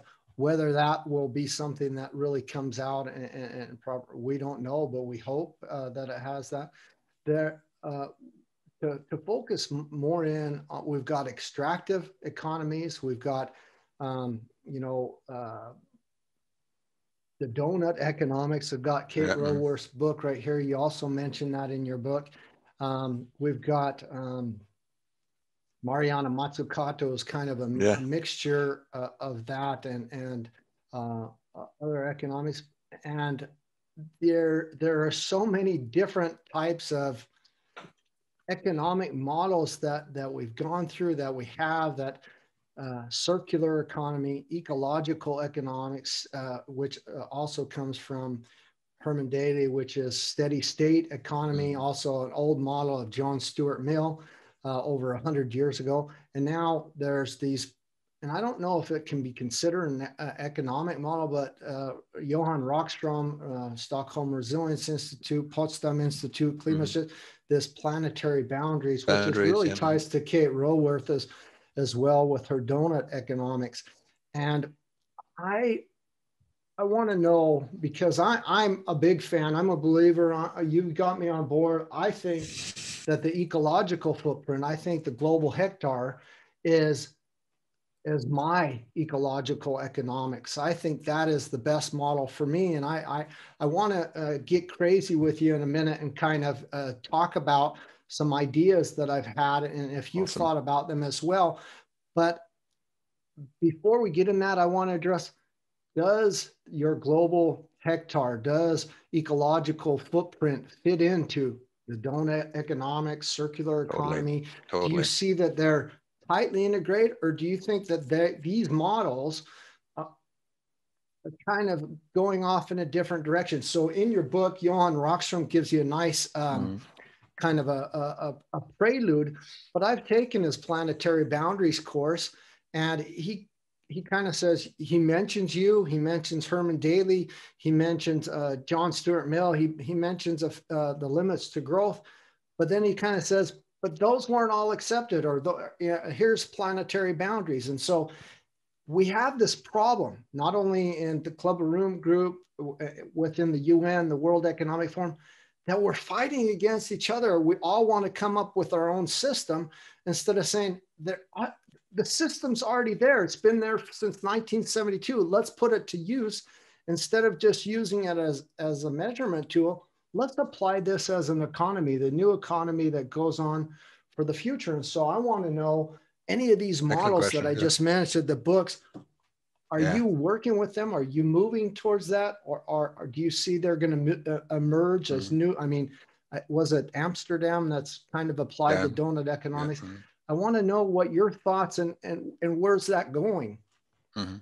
It's, it's, a it's a very very good topic overall. So so I I personally think there's only economics, you know, and and so because it's economics is just thinking about how do we interact with each other? How do we allocate resources? And then there are theories within economics, are kind of presumptions, and some of them turn out to be not so good and others are better. Ecological, I mean, we shouldn't call it ecological economics, that should be only. I mean, economics is not ecological economic is not economics from my perspective. So, so, so, so I think the big premise is to say we have to recognize the economy as a subsystem of the biosphere sorry you know. And so anything that is not i mean could not be legitimately called economics. So so so, so it's not like bodies of whole theories. So we, we approach things very differently. Um, it, but i think so and then it's kind of the, the, ones that are more sustainability oriented we know each other. I mean it's kind of i uh, there's a bit of a tragedy of kind of you have to like most of them come out of their own kind of think tanks etc we have to find our own funding and so you have to do so so collaboration is not that easy often because the funding is not available to collaborate well. So we're, we're, we're trying to do it i mean our organizations that we put network in the organization always work with others through others um, and, and and just sometimes so for example we're very friendly with johan rockström but we have never been able to to work together. I think there would be tremendous synergies that if we actually work together closely. But then just if the funding structures are not available, it's just it's hard to. I mean, you can have coffee together, but that's you know, so that's that's a bit of a piece of a tragedy that we haven't done it more. Now, in, in terms of many of the tools out there, I, I think I feel I feel like the planetary boundaries is one of the most significant cousins or brothers or sisters or whatever you want to call them in some ways. They approach the systems a bit different. I mean they, they, it's, it's, more kind of an ecological model but i think it's very aligned. The, the, the big alignment is they we both see biology is the big thing and that actually with the functioning of the ecosystems and not to overwhelm the ecosystems. Now we framed it a little bit differently. Planetary boundaries looks at the more ecological systems, how they interact with each other and how like the nitrogen cycle and biodiversity and all these kind of things, how that work. We look at regeneration and I would just say that the planetary boundaries are kind of items or kind of or, or, or components or, or, or conditions, parameters, or the economists would call production factors that produce regeneration.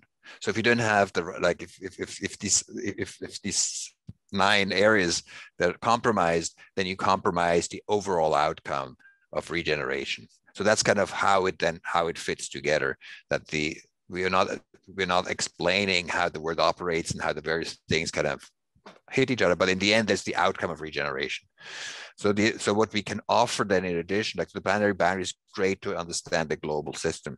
It's not that great to, to scale it down to different pieces, you know, so for example, a country. So how do you cut down the water to one country? But actually regeneration you can because we look at the country as if it was a farm.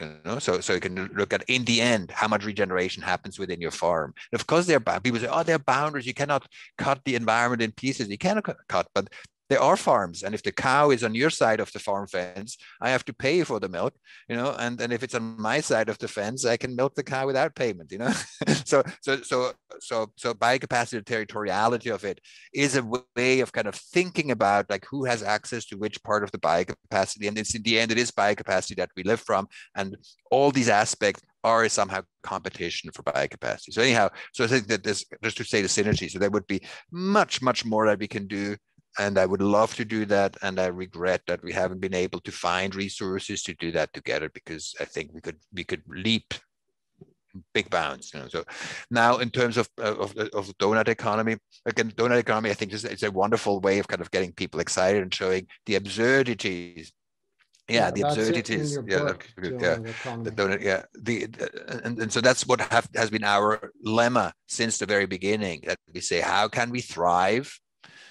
within the limits of nature you know? So that's kind of that that's the big tension i think. Rather than saying sustainability i find that much more helpful to say what's the soccer game you're looking at?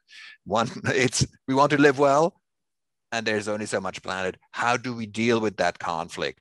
And that's what kate also put put down so well. And i think the brilliance of, of, of kate's work is two things. One is to make that story very visual, but a good name, donut. You know, donut's kind of funny because donut is not healthy.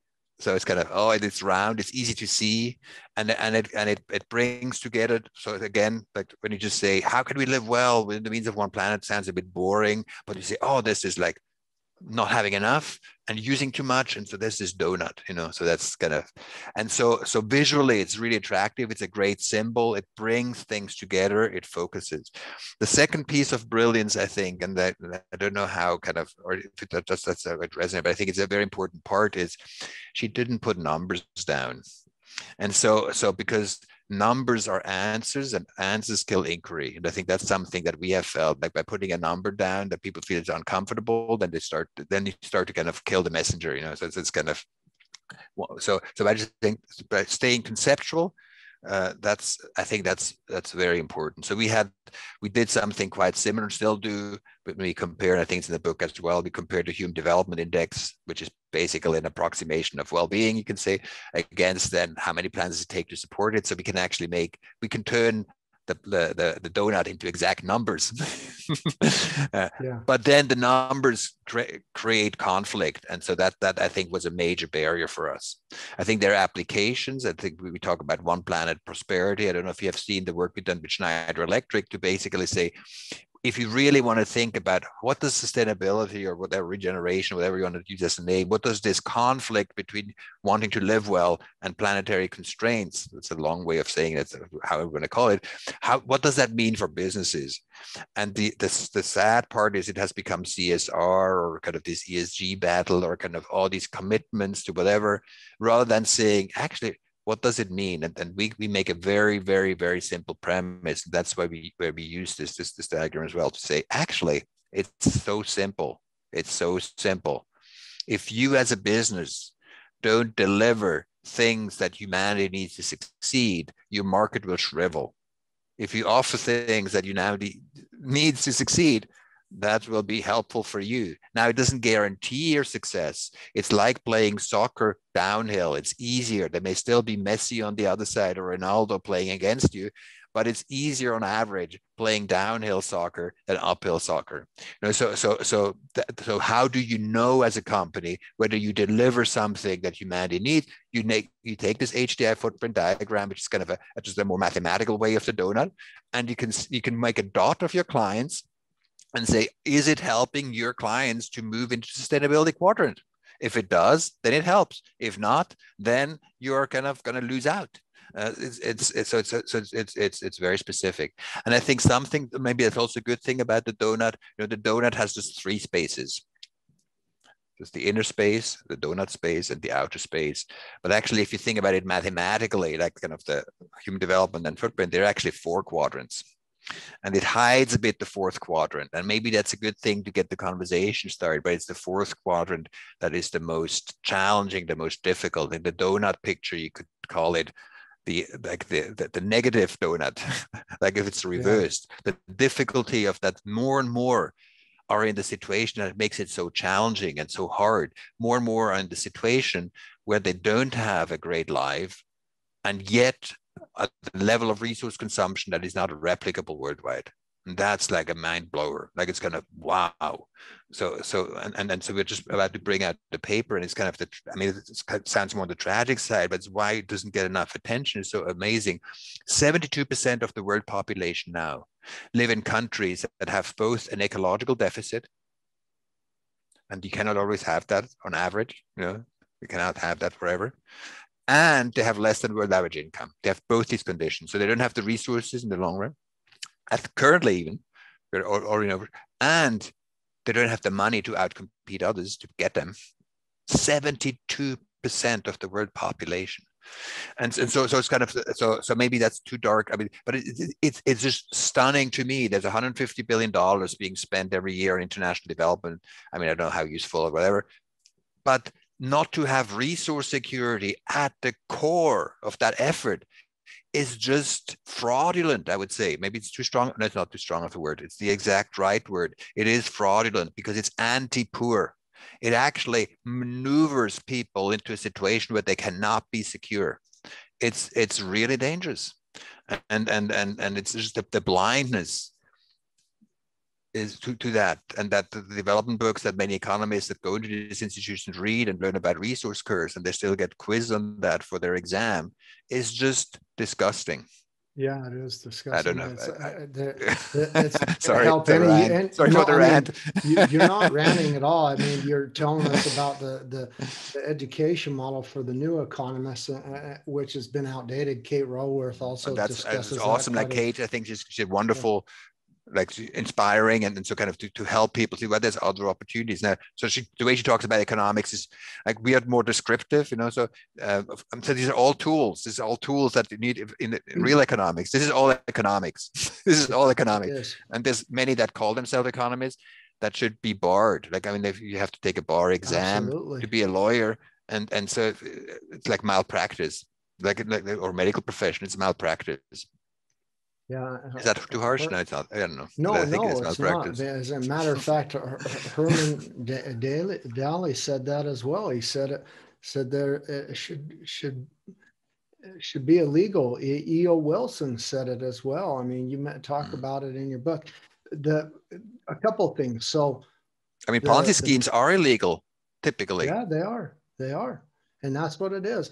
The in, in your um, calculation, in your measuring the data a lot comes from the U, UN, but you mentioned one. You mentioned HDI, which is life expectancy, mm-hmm. literacy, per mm-hmm. capita gross national yeah. income yeah, yeah. of the place where they live. You, there's the World Input Output Database, uh, WIOD.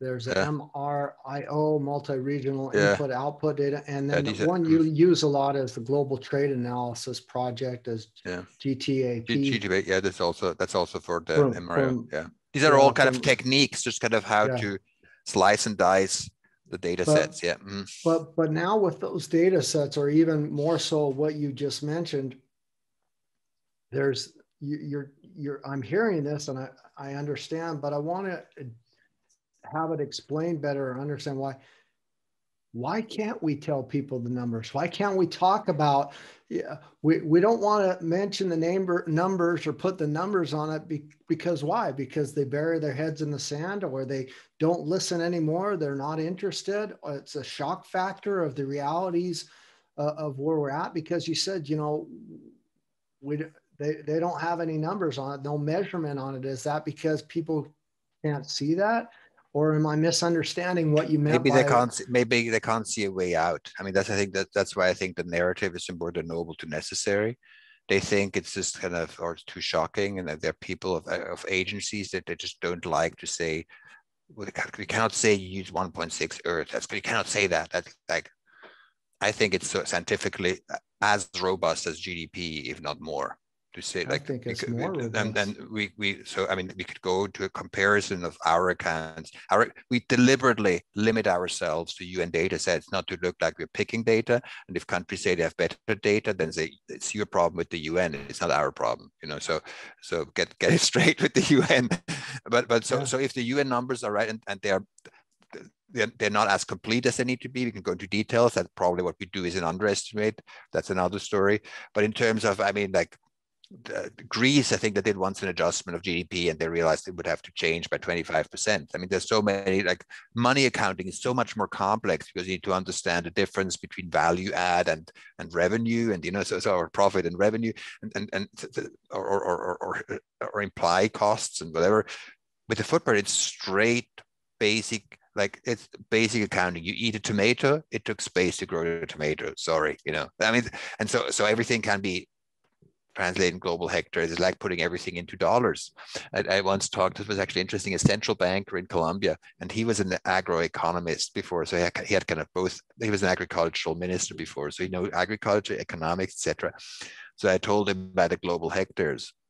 And I said, the global hectares is like, it's like a currency. It's a physical currency that we can translate everything into in terms of like the ultimate budget. And this is the currency. And he said, Absolutely.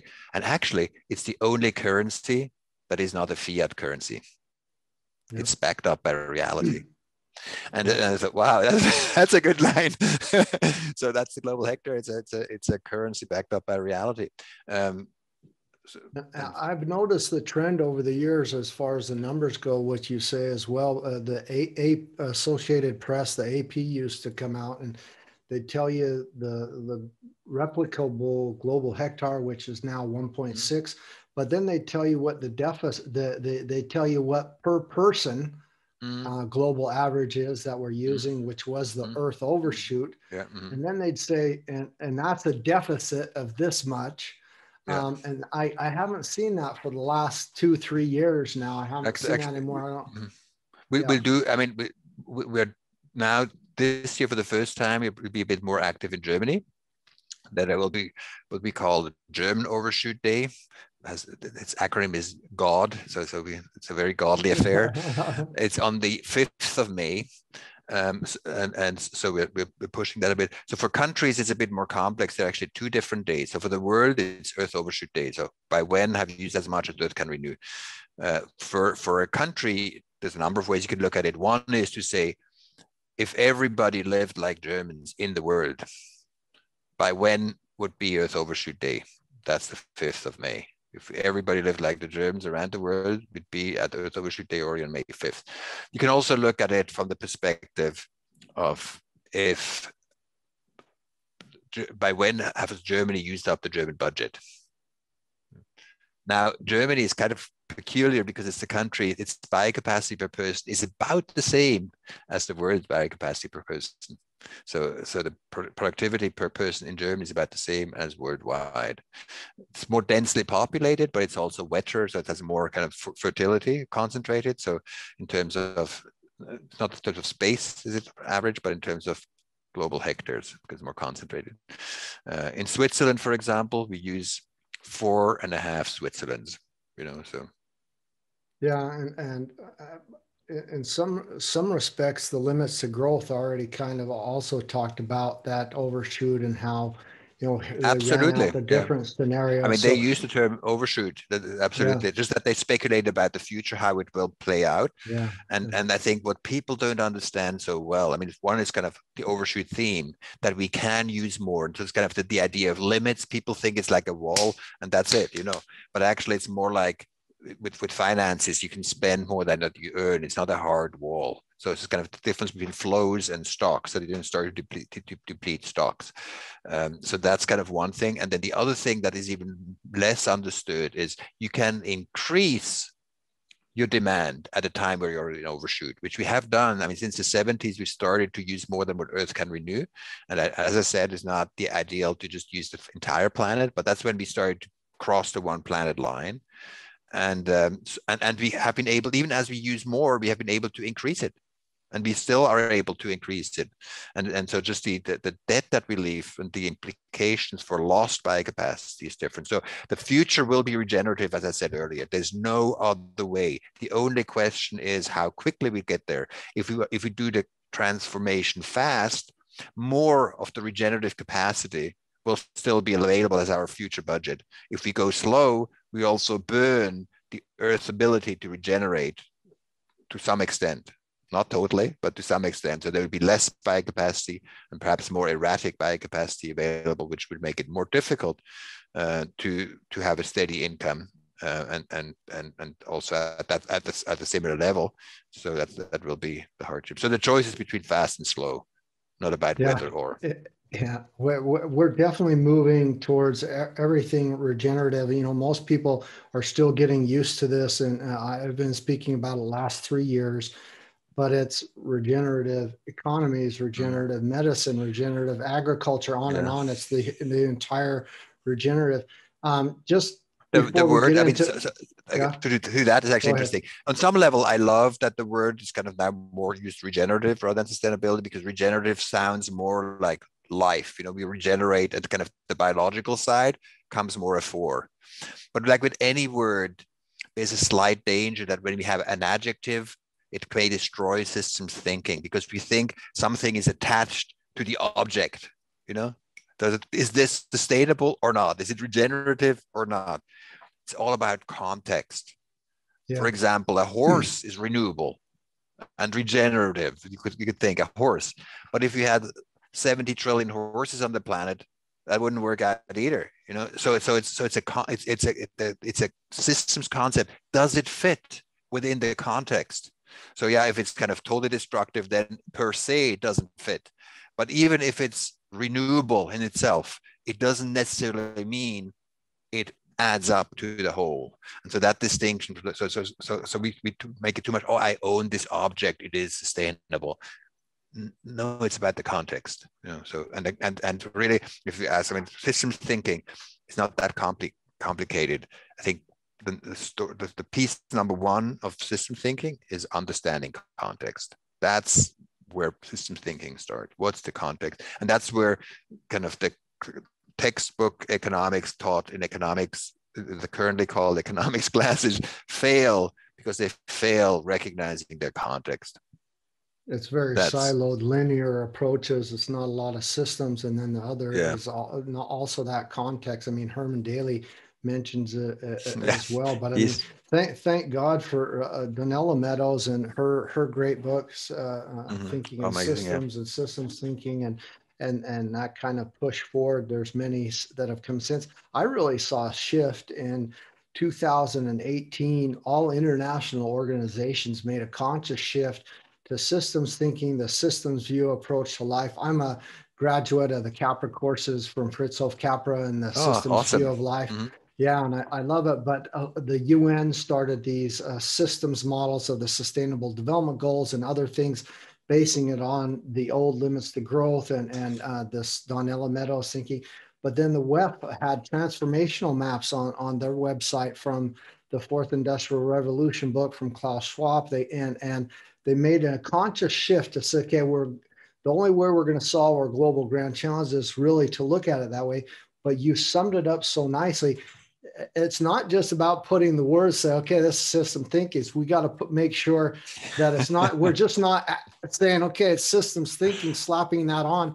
We need to make sure it's in the context of, of the entire um, I, yeah i have one funny hobby. Yeah. My little hobby it's called the world economic forum. And i mean they they have great materials and they like to bring people together and to like whatever. Uh, and they have the risks report that shows all these ex- extreme risks and it's it's not written by some crazy ecologists but actually ask the ceos of their members whatever companies what what they think and some academics whatever. And then at the same time they have the competitiveness report the real important one the real important one also built based on an index that's another little pet peeve. Indices have no scientific validity because they're just made up scoring systems but they're published by all the great ivy league universities and it's, it's, it's total absurdity. But anyhow so they have this competitiveness index to say which countries are able to produce in the long run like are really competitive.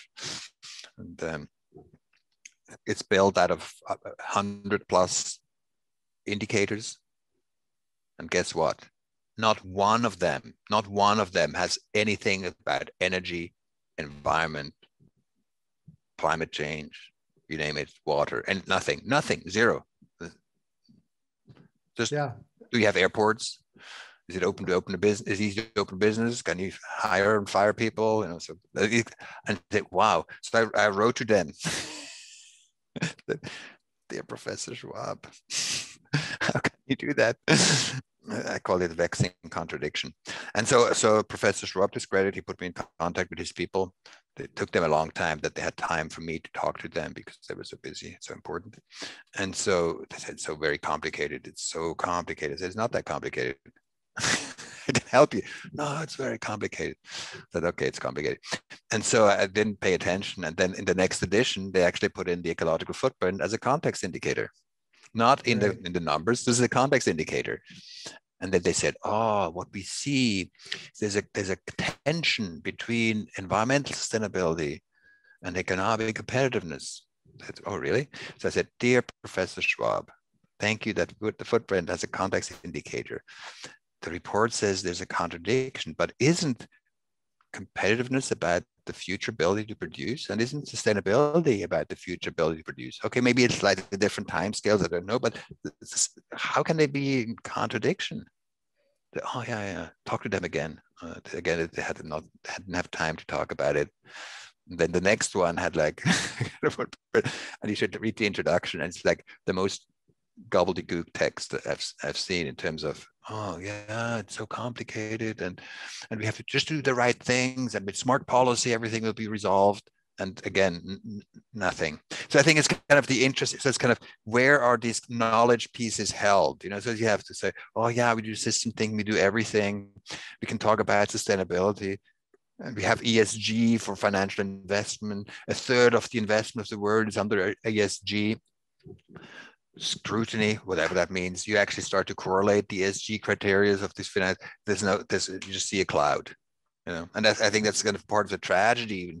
You have the SDGs there, and I'm glad they exist in some level. We did it. We did a little paper to, to show to what extent are SDGs environmentally sustainable, and actually the way they are set up, and that's because of political pressures. They are strongly, strongly negatively correlated with environmental sustainability because they're not set up in a way to actually take ecological economics seriously. It's, it's and, I've, and I've, read and, that paper so, and mm-hmm. I've read that paper and your other papers on on the SDGs. You guys have uh, in, in, your network have set up a plethora of wonderful papers. The paper you mentioned a couple times is coming out and, and is mm-hmm. it in Nature? Nature is coming out. So yeah. It. Yes, coming out soon. I recommend anybody read read that. um, the you need to be aligned w- with what you're thinking. We still have not gotten to where I want to get. The, oh my goodness! I want to I want to help the transformation a little bit for, for my listeners, and, and, that is. Um, you know, Herman okay, Daly talked about yeah. planetary boundaries and, and cost becoming greater than mm-hmm. benefit, mm-hmm. and that prices need to include the external costs and, and quantitative limits that uh, he even talked about ecological tax reform and and as you mentioned it uh, so nicely you know planetary boundaries uh, johan rockstrom and and um, Potsdam Institute of, of Climate Shift yeah. and Climate mm-hmm. Change and and those working on that are are definitely uh, I, I hope you can collaborate I hope that um, because it would only st- strengthen that because there are uh, when it first came out nine planetary boundaries and the way that they're divided mm-hmm. up that so closely also tied to the donut economics and that. Um, having given enough i mean donut and, economics and, is, i think donut economics just says there's planetary constraints and we want to have good lives. And so they used as a way to populate it the planetary boundary but it's like i mean there's no we could there's no reason you could use the footprint. I mean, it's all it's all similar. It depends on what you're trying to do. So I think that the underlying thinking is very much there that they all recognize that the, the soccer game we're playing is human well-being and planetary constraints. How can we get that to work together? Because it's that's the tension we need to navigate. And so in that way, this is all the same. I think there may so, be some uh, some different tensions. There may be some some slight different tensions, as I said, in terms of like the, the tragedy of the commons versus skin in the game. How do we frame it? Uh, I I believe actually on like fo- the, the focus too much on international negotiations could detract us from recognizing the self-interest. So so so I think the moral arguments they sound very soothing because they're, they're beautiful. And so I think that one of the most destructive sentences in climate the climate debate to say, oh, these poor islands in the Pacific that will disappear, and and and and and the and the poor people in the South, blah blah blah. And of course, it's true, but it it separates because it's a it's a talk within the urban elite of saying, oh, it's the others, it's othering.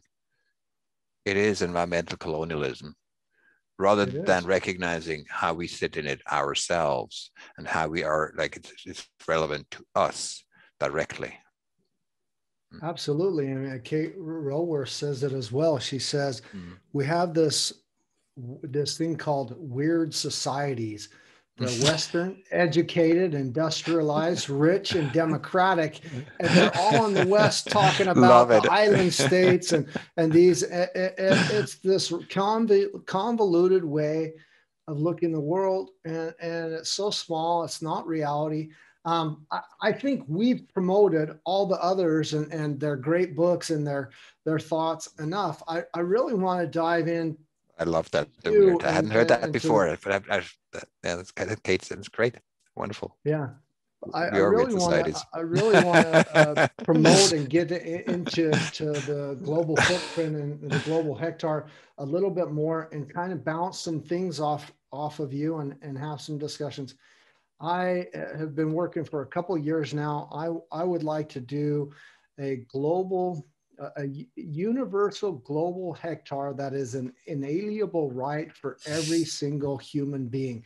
The minute you're born until you die, you are given whatever the, the time of your the birth, portion, the global yeah. hectare is 1.6. If it's, you know, if you're lucky a few years ago, you came in and, and you were born, it was 1.7, but it's kind of a daily fluctuation depending on how um, we're living and doing. And then that's uh, something that everyone has uh, this replicable global hectare that they get from birth, and it's an inalienable right.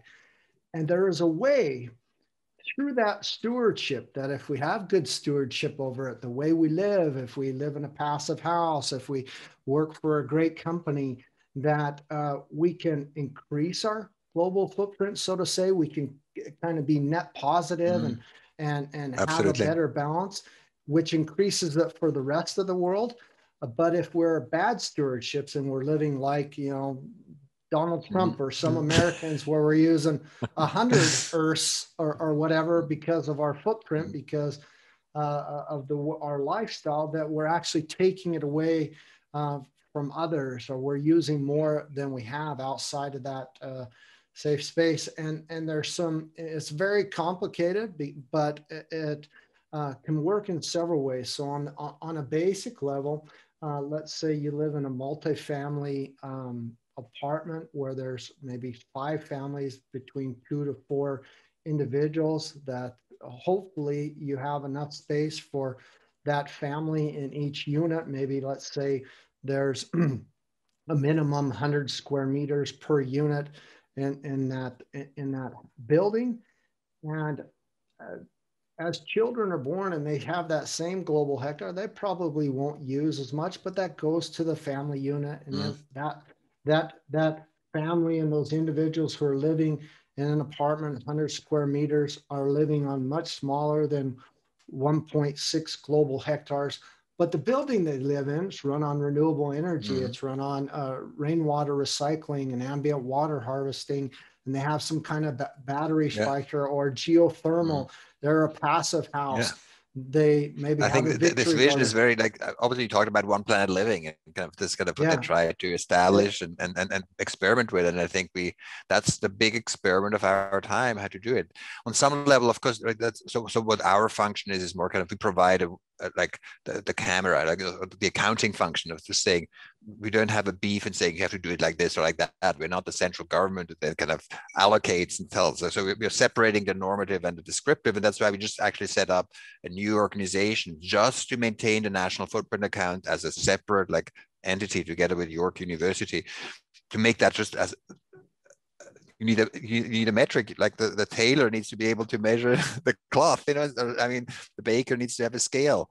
So so that's kind of the the the basic um, the, the, the, basic necessity. And and then ideas like you're putting forward then become feasible to say we need to have we need to think about the budgeting. How do we do collective budgeting? We do it around money. We do it around many other things. Uh, we're metering electricity you know? I mean so so how do we deal with with physical reality so do you, yeah, yeah, do you believe there's a way that that depending on how we live or how we do our, our, our, businesses, our companies, our, our cities, our communities, that we can increase our global hectare. Uh, Absolutely. So, yeah, yeah, I mean, I, I, do as well. Yeah, I mean, so so it's both and it's both sides. I mean, it's like with money, income and expenditures. I mean, what we've seen, I mean, some of the ways of increasing just regeneration and kind of uh, can be very mechanistic and kind of use more fertilizer, and kind of more tractors and more energy and whatever, and that may not have lasting effects. It's like it's more like doping an, a, a, a, an athlete who can run faster, perhaps a little bit, but then wears out. Um, so a, a, lot is possible on the on the on the consumption side too. And i mean so the consumption is not just the ultimate consumption but we can, i mean uh, we many people could live in houses that are kind of energy positive you know for example so that's possible. I love to bicycle. Just uh, it's so much more fun to be on the bicycle and see more than being in a car. I would do it even if it took more resources than being in a car. It's just so much fun you know but if, if life becomes so much better and by the way it doesn't use have any resources that's better but i think the other thing that's why we're focusing so much on the sense of resource security so we're not taking away and that's why I think we also use the word move the date so much because it's not about when you say reduce your footprint. Say, oh my God, why are you taking my chocolate? Okay, maybe next year. But so it's kind of oh, it's kind of this oh shrinking away. No, it's going to move the date. We are expanding your resource security and our collective one. So we'll have we'll have a better life. I think that's kind of the, the, the reality. How can we produce? That's perhaps a little bit an abstract idea, but there we need to have a sense of abundance so we can be generous and we can produce a psychological space and a way of living that to feel this abundance of ideas and that we create we, by talking with each other we feel oh there's there's things opening up it's a sense of abundance and possibility in a context of severe physical scarcity and that's kind of the big artistic trick. it's not a trick. I mean, kind of the, the, the story is possible. How, how, can we produce an abundance, sense of abundance for people in this context of physical scarcity. and and and we may not be able to get to that transfer that transformation that's fast enough and that will leave some damages so the earlier we do it the better. Um, there are huge possibilities available and there's like and and it's and and currently already we are physically threefold too large and it, it, will have to mean to look at all kinds of various dimensions. That why we use the hand move the date I don't know if you see it? Move the date yes, five fingers there's like how much do we regenerate like uh, more regenerative agriculture more conservation just there's so, many practices that can make the, the planet healthier and stronger the biocapacity stronger. And then on demand side i mean it's overlapping to some extent but the ultimate outcomes of financing and policy etc is how we organize our lives particularly through cities how our cities constructed? How do we uh, power our cities like do we have coal power plants or solar power? Everything has an impact but different degrees. How do we feed ourselves? Already half of the planet right now is occupied for food and then how many we are. And it's a, it's a very delicate issue to talk about the population size but it's a very significant dynamic. And the good news is by addressing it there's so many other problems we can address as well. I mean who doesn't want that everybody has equal rights. Men and women have equal rights. Having everybody participate fully leads to healthier families, smaller families, better educated families. Uh, what, what's against it? And and then it's um, it's stunning. I don't know how much you're built into the German kind of uh, language group, but I, I, I, see a lot of conversations in Germany about population saying, "Oh my God, they have small families. The Germans are dying out." It's rubbish. I mean, kind of actually in an industrial society, slowly shrinking populations are an economic advantage. If you think you need to have a growing population to pay for pensions, then you buy into a pension scheme. And the reality is because in industrial societies, it takes so long for young people to get ready for the workforce that's a part of the dependency as well not just old people. Old people now they live healthier. They can help themselves more probably may have to live to work longer so you cannot have like when when when when, when unemployment and not unemployment when, when pension was uh, in, um, started in switzerland in, in, in and, and, 65 was put as the age of, of retirement. Guess what? 65 was actually the life expectancy in switzerland. Yeah. you know, and now the life expectancy of, of, of men in Switzerland is I think 80 or, or, or, or in higher. So, so there have to be some adjustments, obviously. But in terms of dependency ratio, just physically speaking, how many people are able to work compared to how many need to be looked after, the ratio of a slowly shrinking population in the industrial age is becoming far more favorable. So it's not even an economic problem. So, so the, so the fear about shrinkage is just stunning and, and, and totally misinformed. And, and I haven't seen yet an article in the German news that actually makes the opposite argument. It's always about lamenting about cultural suicide. I don't know what. I mean, this, this is stunning. And it's not just Germany, but I, I, just, I see it in Germany, just to, as we as you live in Germany, I mentioned that. I, am from I'm from America, but I live in Germany. My family is German and Austria on my mother's mm-hmm. side, and mm-hmm. and uh, have a lot from Spain, Italy, and, mm-hmm. um, uh, relatives and that. But yeah, it's it's a unique world we live in. I have five more questions for you, and oh, then then we're done. And I'm sorry okay, we we've taken this over, but we could oh. we could talk for hours. I'm sorry. Um, the, the, the the biggest one that I really think mm. we need to I need to get the answer from you is the burning question. WTF. And yes, we've been asking that these last 12 months, but it's not the swear word. It's what's the futures? And I'd like to get your vision and maybe your network's uh, vision. What's the futures? Where do we need to go? Where do we need to be? I think it's pretty obvious, and everybody can has, has, has a good idea where we want to go because we see more like where we don't want to go, maybe not enough where we want to go. It's totally possible to live well within the means of one planet. We can make this transformation. It's economically beneficial. It's like financially beneficial. It's obviously medically beneficial. Everything. I mean, there's only benefits. Why are we not doing it? That's very. Uh, that's the question. I still don't understand, and that keeps me fascinated every day. Like I've done it for 30 years. Like, how can you do that forever? Isn't it depressing? I don't think so. I feel like a soccer player. No, I just I'm in love with playing soccer. I'm not winning the the, the world championship, but it's still great to play. And that's the question: say, why are we not understanding our own self-interest. It's it's it's so fascinating. But it also has the energy because that the self-interest is there. The energy is there to make it possible. It's not like it, it, that's why it's a tragedy, not because it's inevitable, but because it's because it is inevitable. Like uh, it is inevitable, or it is. we don't have, it's not inevitable, and we are not seizing the opportunity, and it's it's so fascinating. So we could have great lives, and and I started as a, as an engineer, I believe, and technology could do a lot, and, and I mean, so, so so many opportunities. It's, would yeah, would you consider yourself to be a human ecologist, or what? How would you? define you and your work what how i mean what, what's the term that you give people? i'm just curious just curious yeah just curious. yeah i mean yeah. because you you really have and that's what many people probably say to he's a little curious no, no, no. I mean, it, it's really. You, uh, we could talk for hours, and we won't. We'll have to. We'll have to schedule another call eventually.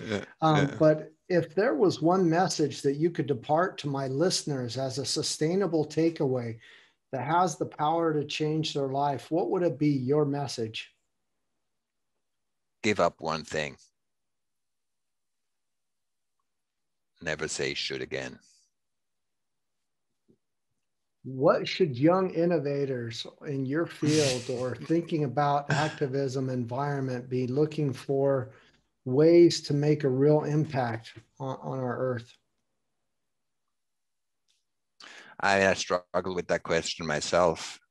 Um, I think just being okay with not knowing and staying curious with the inquiry, um, I think can bring you the energy you need. Like recognizing the privilege we have to be able to engage with these questions and the beauty it brings to our lives and and that not knowing is uncomfortable and and and, and the deep listening we can bring to others and together we can do incredible things I, I this is the last question i come from um, six generations of germany's uh, uh, farmers and organic wow. Mm-hmm. farmers and um, that not only did uh, William Rees and you, and mm-hmm. there's some examples around farming and things also that have to do with the global hectare. Um, but what have you experienced or learned in your professional journey so far, this whole thing till now that you said, boy, I, I would have loved to know that from from the start? I think I mean that's that's kind of the obsession that I'm on right now, kind of the significance of skin in the game. I have worked with too many that when I actually start to realize later on, why they don't really have skin in the game. Like institutions that are just there to maintain things and they want to talk about it, but actually they're not really vested in having the problem being solved. That's kind of uh, an insight that came too late in my life, or not too late, but late. I mean, too late in the sense that, as you asked, if I had that insight earlier on to really understand who has skin in the game. If you would have had that insight earlier on, would you have you would have called you know I mean called bullshit or kind of kind of came forward and say, hey, you know, uh, do you really have skin or are you just pulling my chain because you you just doing giving me lip service or or, what what would you have done with that information? I mean, choosing your partners, then how you work with them, how you frame the benefits much much more clearly yeah i think also something that i mean that wasn't clear on, on some level i think some people don't like our message that much. And so also because our message has been around for a long time it's been boring. So it can sometimes feel like maybe a negative word. It's like oh i feel ostracized you know it's kind of like kind of you think you have like a, an answer and nobody is interested. And and so you can easily fall in the trap that you think oh people don't understand. We have to explain things better or whatever it is rather than seeing that as a power being ostracized means you're actually annoying so how do you use that power rather than it's not so it's not you can see that from a victim side oh i'm being ostracized wow they get annoyed. so who are our friends who want them to get annoyed as well? maybe they are your friends so i think understanding kind of who are your I mean, it's not just it's not just friend and foe. It's not kind of that level. It's kind of just aligned in, in, from an incentive perspective of, of making something happen, and then something more can happen. And I wish I knew that better too, um, because obviously uh, my dreams are much bigger than what we have been able to achieve, and perhaps if they weren't, that would be boring. I, I, that is all I have for you, Mathis. I, I want to encourage all my listeners, please get the book. Please go to the website, footprintnetwork.org. I'm going to list in the show notes all mm. the places people can reach out, find out about um, the global hectare, about the ecological footprint, and kind of help move the date uh, yeah. and and really think of that. Uh, look at your new papers that are coming out in Nature and things. But I really thank you for your time. I honestly, Pleasure. truly mean it. I, I, could speak to you for hours because I, I want to pick your brain. I think we're along. I think about these things all the time. I, That's awesome. Really, thank you so much, Marc. You bet. Mm-hmm. I appreciate yeah. your time. And that's yeah. all I have. Thank yeah. you very much. Unless there's something else you didn't get to say. And for, and for those who love geography and traveling, particularly as we're stuck at home, I would like the, the first site I would go to is data.footprintnetwork.org because it gives you a map of the world. You can go to every country and see kind of what's the resource situation, how have they changed, and I think it's quite fascinating. Thank you very much. You have a wonderful weekend coming up. I appreciate it. Thanks. you Marcus. too. Be well, be safe, and uh, talk to you soon. Thanks. Talk to you later. Bye.